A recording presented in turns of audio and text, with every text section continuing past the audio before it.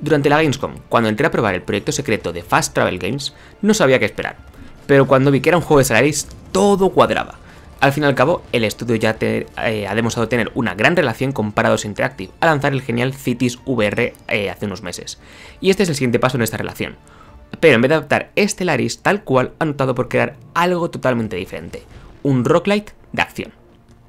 Así es, Signal a Stellaris Game abandona por completo el género de la estrategia 4X para ponernos a pilotar una nave y mandarnos a explorar el espacio. Nuestro objetivo, encontrar una señal fantasma, pero claro, por el camino nos vamos a topar con toda clase de aliens, criaturas, piratas y multitud de peligros. Por suerte, tanto ver el juego de Ender nos ha preparado para este momento. A comandar una nave e intentar no morir en el intento.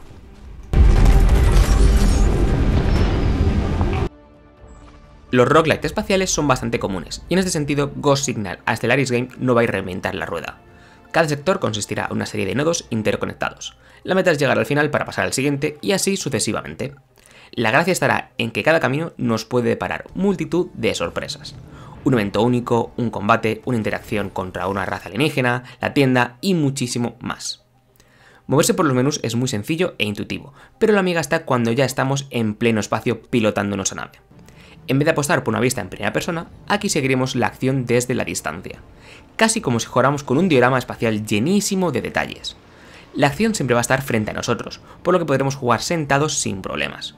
Así se evita toda clase de mareos, pero, si lo preferimos, podemos agarrar el entorno para movernos por él. La gracia del esquema de control es lo físico que resulta, y es que eh, así se consiguen esas sensaciones tanto de estar dentro del juego de Ender, ya que con las manos vamos a apuntar los sistemas de nuestra nave. Además vamos a contar con un escáner y un rayo tractor, que son esenciales para obtener los recursos obtenidos al destruir naves alienígenas, enemigas o meteoritos. Como es típico en los roguelite, habrá recursos para esa partida y otras para las mejoras permanentes, con que tendremos que ir ajustando y recogiendo todo lo que no esté anclado al espacio. En los primeros combates, simplemente disparar rápido nos va a salvar el trasero. Al fin y al cabo, las naves enemigas no son muy potentes y mueren de unos pocos disparos. Sin embargo, en una misma partida poco a poco se va a ir todo complicando, así que tendremos más tipos de enemigos que nos obligarán a movernos y a usar los diferentes tipos de munición. Y aquí es donde la brillantez de la jugabilidad de Ghost Signal a Stellaris Game empezaba a mostrarse. Eh, por un lado contamos con tres tipos de armas, que son eh, la munición física, que es básicamente una metralleta, que es, es perfecta para destruir el casco de una nave. Después el rayo láser que tiene un mayor alcance, pero está más pensada para eh, destruir los escudos enemigos. Y luego, como no, los misiles que, ¡pum!, daño de zona y a reventar todo lo que esté en su rango de acción. Cada arma tiene una tasa de recargas y una distancia óptimas, además de ser más efectivas contra unos enemigos u otros, según su estado. Así que ir jugando con nuestro movimiento para alejarnos del rango de acción de una nave con escudo, destruirlo nosotros con el láser y después acercarnos para llenarle de plomo es la táctica a dominar. Pero claro, estos son roguelite y no nos lo van a poner nada fácil algunos enemigos nos van a embestir, por lo que tendremos que movernos con el turbo para salir de su trayectoria. O ¡pum! nos reventarán sin darnos ni cuenta.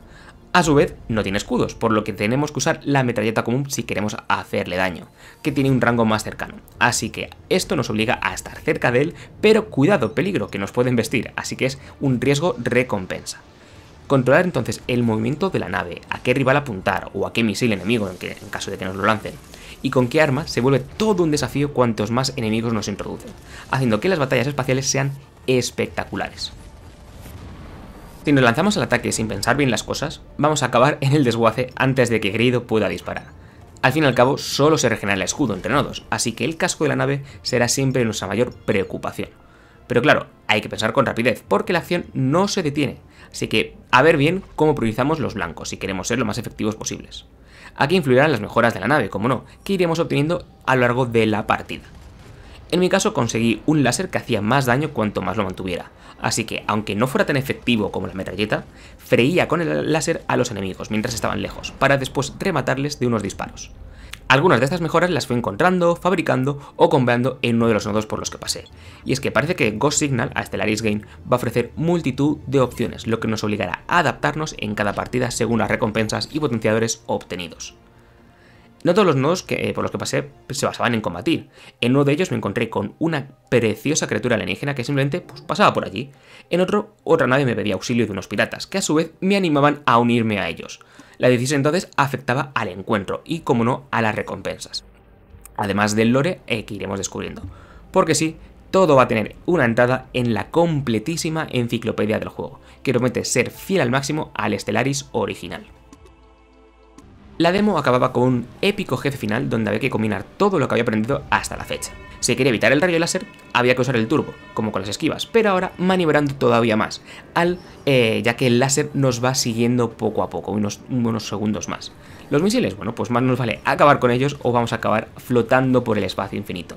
La pelea era trepidante al ir acabando con sus diferentes estructuras, cada una con sus propias armas, y las que quedaban encima se iban potenciando, haciendo que no nos pudiéramos confiar, aunque solo les quedara un único módulo.